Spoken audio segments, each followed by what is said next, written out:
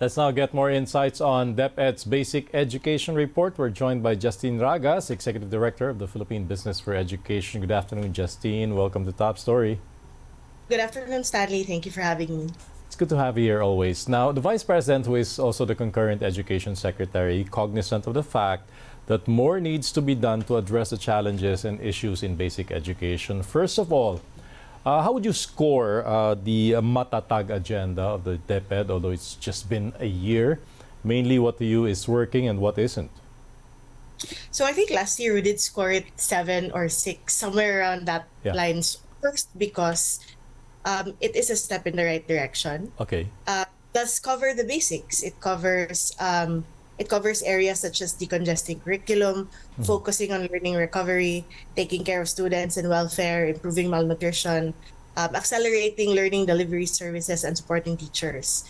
Um, for this year, I think that it would be about the same. Yeah. Um, we the good thing is it hasn't changed. Unlike um, in um, many times now, we when mm. some things are, are new or when when there are plans they get derailed or they get forgotten so this year basically the the basic education report was really anchored on um, their plans from last year. Okay, so six to seven. Uh, the score of six to seven, uh, pretty good, uh, considering that it's just been a year and we're just yes. seeing uh, the results of those efforts. Now, uh, Justine, the Vice President has bannered Matatag Agenda, uh, which worked in terms of revising the K-12 curriculum from the perspective of the Philippine business education now, is this the good place or the right place to start or begin?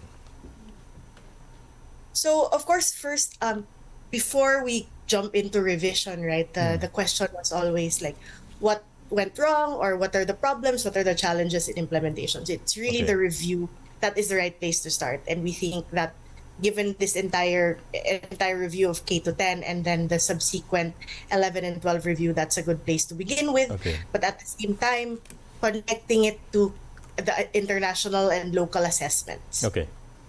Okay, so speaking of international and local assessments, you know, uh, there was this study uh, saying our children are faring low in terms of reading comprehension and even basic or fundamental education, such as reading or arithmetic.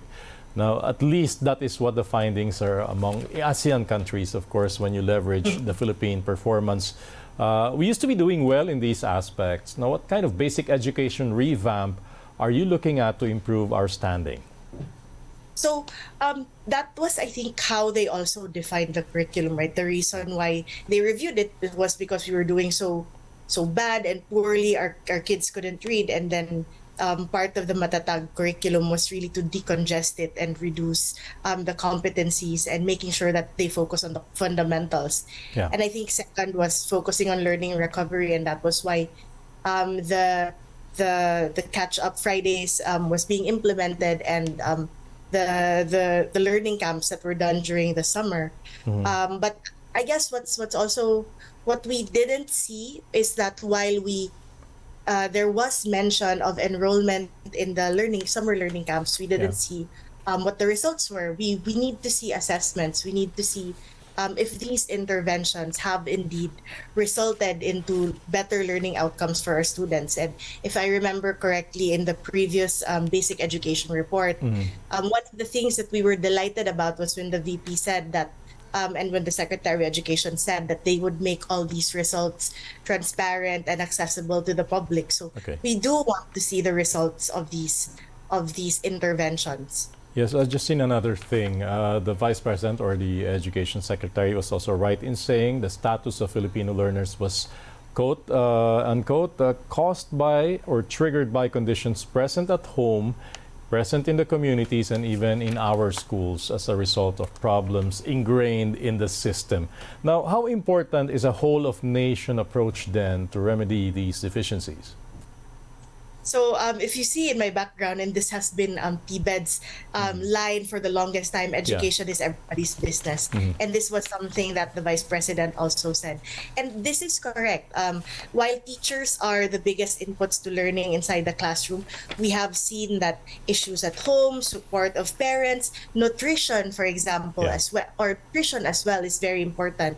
And um, access to all these learning resources, which um, while it is the responsibility of of the Department of Education, there are other agencies. Lo- the local government unit can also support um, the making sure that these um, resources get to the students right on time. So Okay. it is really it should be a whole of nation approach. Okay, so you have a whole of nation approach. You have interventions from uh, the parent level to the community level and even the education sector. Addressing now the elephant in the room, teacher quality, uh, which is just as crucial as other interventions. Now, the uh, basic education uh, report speaks about professional development programs. Now, what are your expectations from these initiatives, and should they be? How should they be handled in the first place? So, um, in terms of teacher quality, there are two things that I'd like to um, talk about, right? So, first, really, is making sure that teachers are deloaded and making sure that they are brought back to the classrooms and they focus on um, focus on students' learning. Right. Um, the hiring of administrative officers is a welcome um, development and a welcome announcement, but um, but currently we have about 18,000 administrative officers deployed in schools. We have about 47,000 schools in the country. So if you were thinking about one administrative officer per school, Okay. that's a long way to go. So th- there has to be more. We need to be to act faster.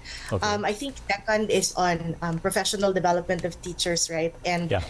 um, what we we there has to be some sort of assessment and there has to be um, an honest to goodness just thinking about ano ba yung kakulangan? What Yeah, are the basic competencies that teachers are lacking? And then making sure that these are addressed at the individual level or at the cluster level maybe and not necessarily like the usual that we hear na they they all sit in an auditorium and you know they listen to one one size fits all um, Yeah. programs for training Yeah, and where do you come in at PBED? Because uh, you know, teacher quality is not just about educational attainment. It is what's lacking really, Justine, is the value added. You know, uh, the uh, portfolio that the teacher has or brings to the classroom, particularly in the hinterlands where uh, exposure to a lot of things may be very limited. So, uh, is there a way uh, for the private sector to come in and help improve teacher quality through perhaps advanced education?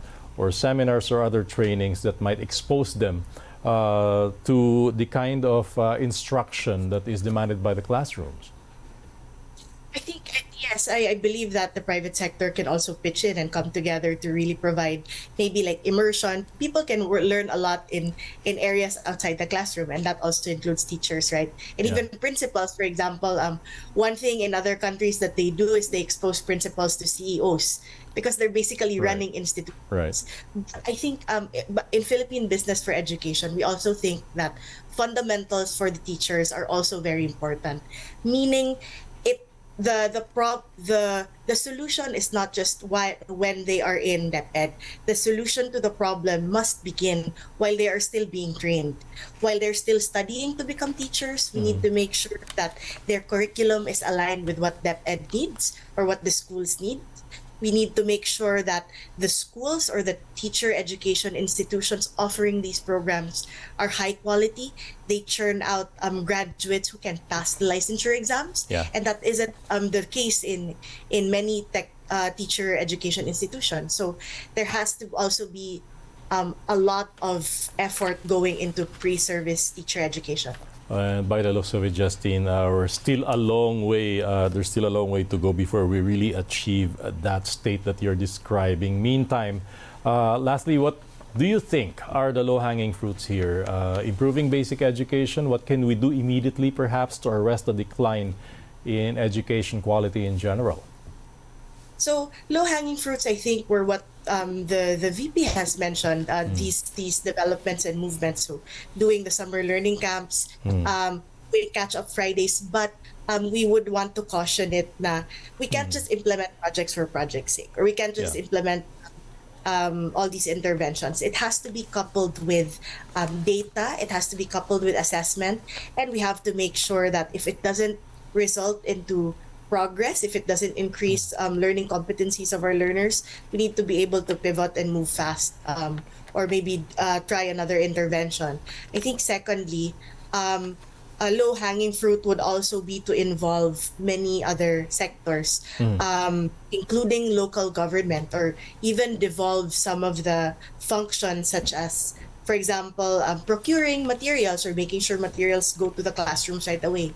Um, and, and working hand in hand in building classrooms, for example. So um, the the VP mentioned num- uh, provided numbers on the classrooms that were built last year. Yeah. Um, this year, no, last year, 2023.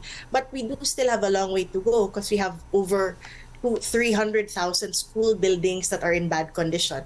So, um, given the size of this these problems, Yeah.